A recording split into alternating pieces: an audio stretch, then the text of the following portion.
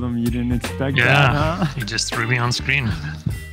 Oh, I just threw you up there. I a little bit of a surprise, man. So, what do you got for us today? I know this is your first of two appearances. Later on, we're going to be doing a prompt injection competition with you, and you told me to get ready to get my prompt injections ready. So, I've been, uh, you know, studying a little Reddit. But in the meantime, you got a presentation, man. I'm going to kick it off to you because you only got 10 minutes. Let's do it. You ready? Yeah, let's do it.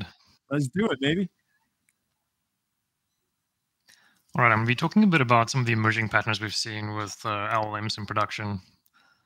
Uh, but first, a bit about me. Um, so my name is Willem. Uh, my background is in production ML. Built a bunch of production ML systems um, at a company called Gojek. Uh, really also doubled down and focused on ML tools and frameworks and platforms. Um, so one of which was a Feast open source project we built and open sourced and adopted by a bunch of companies like Shopify and Twitter and Robinhood and um, some others. Um, but I've already been working with teams building ML tools and platforms and um, you know helping them do it in a reliable way. And so that's why the generative AI space is interesting to me because of the challenges we're seeing today. So what are we? What are the, some of the unique challenges that we see today with uh, generative AI? And um, you know, I, I, guess like in in general, um, uh, the key the key ones we're seeing are around reliability, cost, latency, and safety. And the numbers on the screen there are from um, an LLM production survey that we got, and they're basically teams that have responded and said, uh, this is an egregious or like a, a, critical problem for us. And so reliability is obviously one of them because you're dealing with like unstructured or textual output. Coercing that into something that your application can use is hard. Uh, cost is a big one. Um, if you're an AI builder today, you're either asking users to provide an API token or you're absorbing a lot of the cost yourself. And so this is a challenge that a lot of you know product builders are faced with today. Uh, we've also deployed a bunch of probes globally, or I personally did that, and I've been monitoring these API endpoints myself, the the providers, and they're really really slow. So they're like 400, 500, 600 milliseconds. Um, sometimes they they even spike to like 18, 20 milliseconds for completion. So how do you build a product around that? And especially if you have to do many round trips, it's very challenging. Um, and finally, safety is hard. Um, you know, folks are inputting private data, or they're um, you know you're vulnerable to private um, sorry, prompt injection attacks and all kinds of vulnerabilities that are kind of new and unique. Um, so it's it's challenging building on LLMs today, and you know that's kind of like opportunity for us to um, batten down, uh, things down a little bit. So how do you use LLMs effectively? The same rules apply to structured ML, really, um, in the space. Start simple, um, start with basic prompting, start with including some examples to do some few shot prompting, start introducing external data or exogenous data sources using LangChain, Llama Index, and composing workflows. Um, so you incrementally increase your accuracy over time. Yes, you'll increase your costs and latencies a little bit, um, but often that's okay if your um, you know accuracy and uh, reliability uh, improves. Um, but if but soon you'll get into a point where you want to get to iterative refinement, where you do things like prompting, uh, where you're doing tool selection, calling out to APIs like Wolfram Alpha or others to give you more reliable um, responses.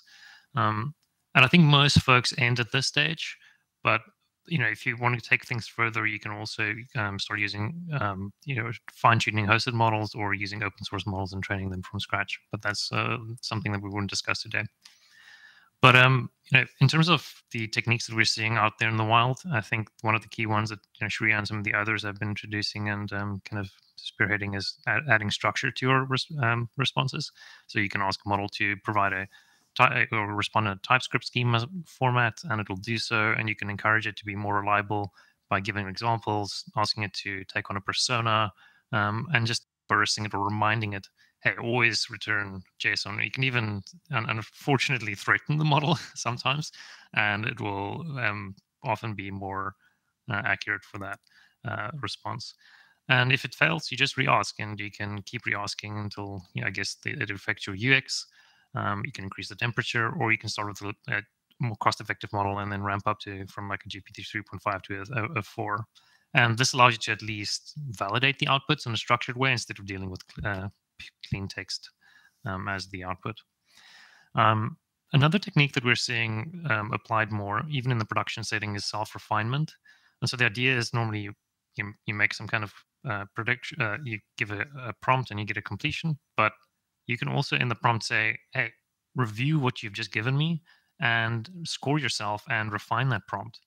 And you can even ask the model to do this multiple times. So it's literally scoring itself and improving the prompt.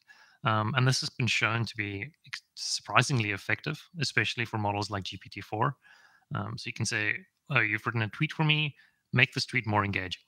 Rate you rate the tweet and and, and you know improve it." Um, and so that's been a surprisingly um, effective technique, and it's outperformed baselines in a lot of use cases.